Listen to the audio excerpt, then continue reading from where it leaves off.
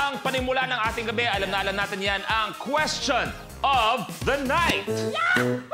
Ano yung old school memory na binabalik-balikan nyo kasama ang isa sa mga investigators ninyo? Ano yung alaalang binabalik na yun? Oo. Ay, nako. December 22, 2017. Ah, ito lang.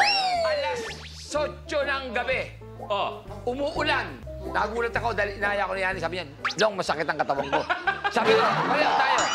Masakit din ang katawan ko. Bago tayo umuwi, sabi niya, magkikrismas. Sabi, bago di magkasama dahil papasko sa pamilya. Oo. Sabi niya, pamasalis tayo. Pagpasok namin yung tuwan-tuwa kami, masahin na kami. Oo. Pagpasok namin ganyan. Oh. Sabi ng mga tao, ah, sila pala host. Sabi ko, anong host? Eh, Christmas party namin ngayon eh.